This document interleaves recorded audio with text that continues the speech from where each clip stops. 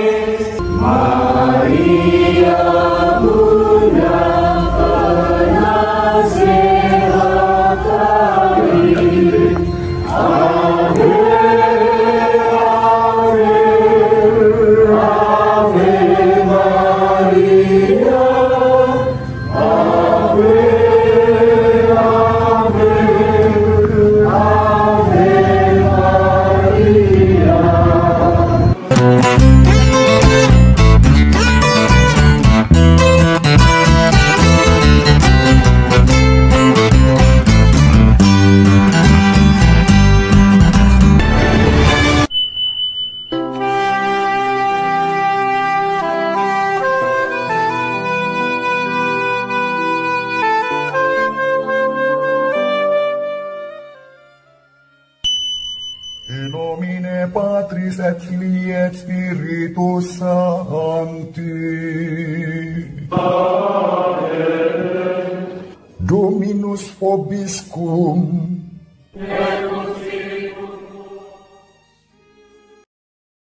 Sahabat peradaban kasih ekologis yang terkasih, selamat berjumpa dalam renungan harian bersama saya, Romo Alawis Budi Purnomo PR, melalui channel ini.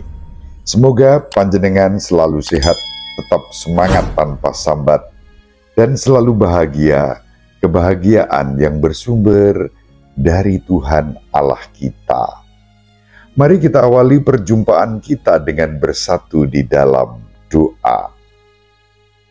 Allah Bapa yang Maha Pengasih dan Penyayang, kami bersyukur kepadamu karena melalui surat Santo Yakobus yang kami renungkan hari-hari ini, kami diingatkan kembali bahwa iman kami kepadamu dalam Yesus Kristus Putramu dan bimbingan Roh Kudus harus kami wujudkan di dalam setiap perbuatan baik. Iman tanpa perbuatan yang baik pada hakikatnya adalah mati. Dengan iman yang terwujud melalui perbuatan baik, kami juga diajak untuk berdoa secara benar, bukan memohon hal-hal yang berpusat pada diri kami sendiri, tetapi pertama-tama agar namamu dipuji dan dimuliakan, kasih dan damai sejahtera diwujudkan di dalam kehidupan sehari-hari. Semoga kami tidak salah dalam berdoa kepadamu. Demi Yesus Kristus Putramu Tuhan dan pengantara kami yang hidup dan berkuasa bersama Diko dan Roh Kudus, Allah yang Maha Esa sepanjang segala masa. Amin. Sahabat peradaban kasih ekologis yang terkasih, mari kita baca surat Yakobus bab 4 ayat 1 sampai 10. Saudara-saudara terkasih, dari manakah datangnya sengketa dan pertengkaran di antara kalian?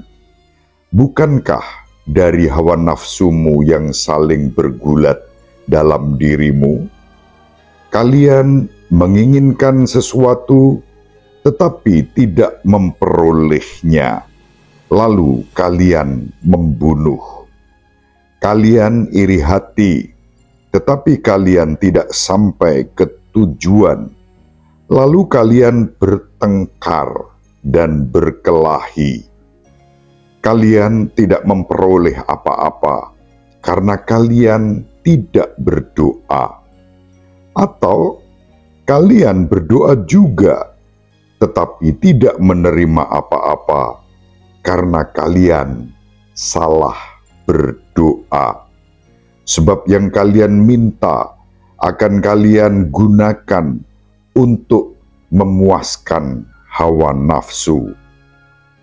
Hai kalian, orang-orang yang tidak setia, tidakkah kalian tahu bahwa persahabatan dengan dunia adalah permusuhan dengan Allah?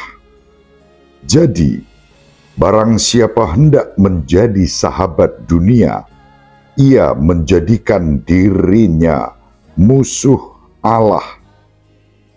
Janganlah kalian menyangka bahwa kitab suci tanpa alasan berkata, roh yang ditempatkan Allah dalam diri kita diingininya dengan cemburu. Tetapi kasih karunia yang dianugerahkan Allah kepada kita lebih besar daripada itu. Sebab itu, ia berkata, "Allah menentang orang yang congkak, tetapi mengasihani orang yang rendah hati." Maka dari itu, tunduklah kepada Allah, lawanlah iblis, maka ia akan lari daripadamu. Dekatilah Allah, maka Allah akan mendekati kalian. Tahirkanlah tanganmu, hai kalian orang-orang berdosa. Sucikanlah hatimu, hai kalian yang mendua hati. Sadarilah kemalanganmu, berduka cita dan merataplah. Hendaklah tertawamu kalian ganti dengan ratap dan sukacitamu dengan duka cita. Rendahkanlah dirimu di hadapan Tuhan, dan Ia akan meninggikan kalian. Demikianlah sabda Tuhan. Syukur kepada Allah. Sahabat peradaban kasih ekologis yang terkasih, kita kembali memasuki pekan biasa.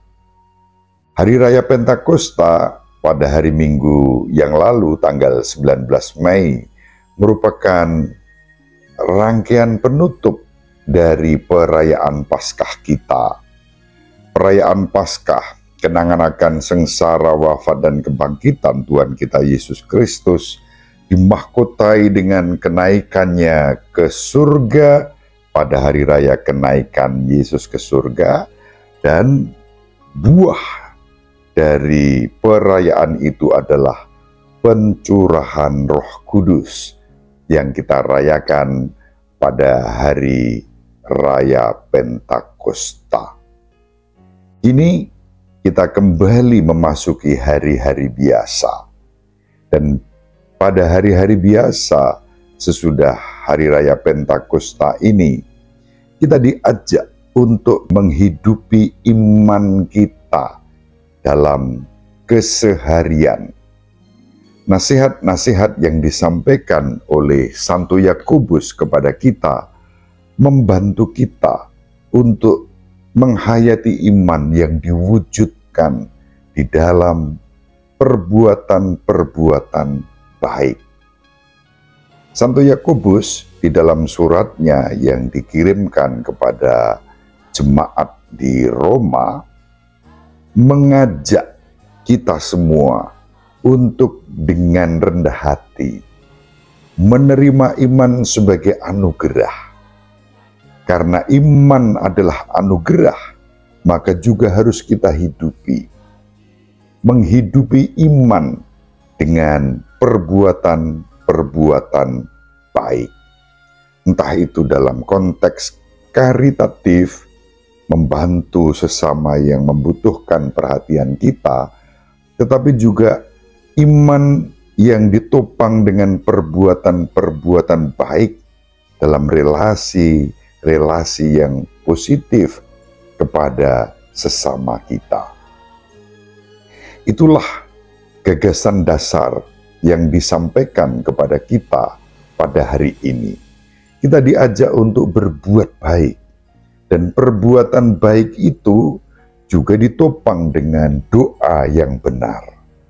Ketika doa kita benar, dalam arti doa yang tidak dilandasi oleh nafsu-nafsu pribadi, egoisme, hanya memohon untuk kebutuhan-kebutuhan pribadi saja, lalu doa itu diperhitungkan sebagai doa yang salah.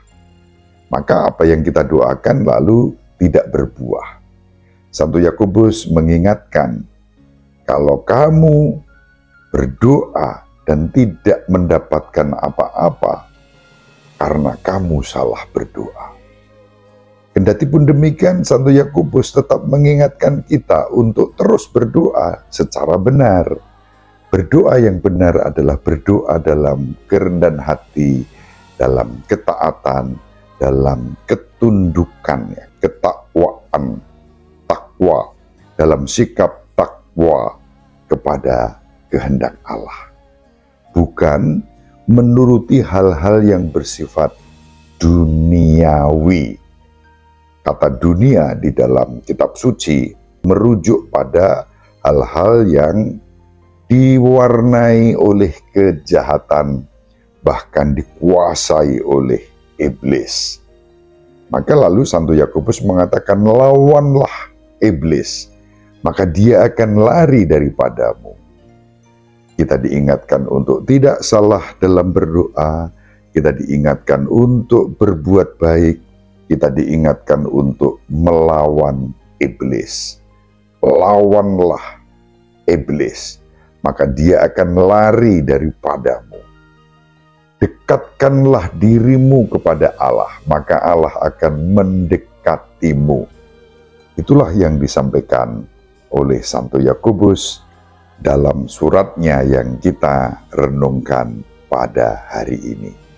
Dan dalam semuanya itu, kita diajak untuk membangun sikap rendah hati taat, tunduk kepada Allah, merendahkan hati kita di hadapan Allah, maka Allah akan meninggikan kita dan melimpahkan segala rahmat dan berkat yang kita butuhkan dan mari kita saling mendoakan agar kita mampu untuk berdoa secara benar, melawan iblis, mendekatkan diri pada Allah.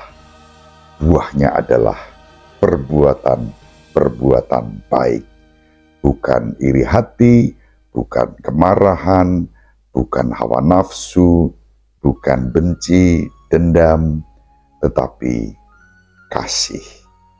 Itulah iman yang hidup, iman yang diwujudkan dengan perbuatan-perbuatan baik. Semoga bermanfaat. Ibu Maria selalu mendoakan kita Bapak Yusuf merestui kita dengan keheningannya. Semoga panjenengan semua sahabat peradaban kasih ekologis yang terkasih bersama seluruh anggota keluarga di mana pun berada, dibimbing, dilindungi, dan diberkati oleh Allah yang Maha Kuasa, Bapa dan Putra dan Roh Kudus. Amin. Terima kasih, salam sehat tetap semangat tanpa sambat. Selalu bahagia, kebahagiaan yang bersumber dari Tuhan Allah kita. Salve, Shalom, Salam sejahtera, berkah dalam. Sahabat peradaban kasih yang terkasih, sampai jumpa pada episode berikutnya. Terima kasih atas kebersamaan kita. Salam peradaban kasih ekologis, berkah dalam.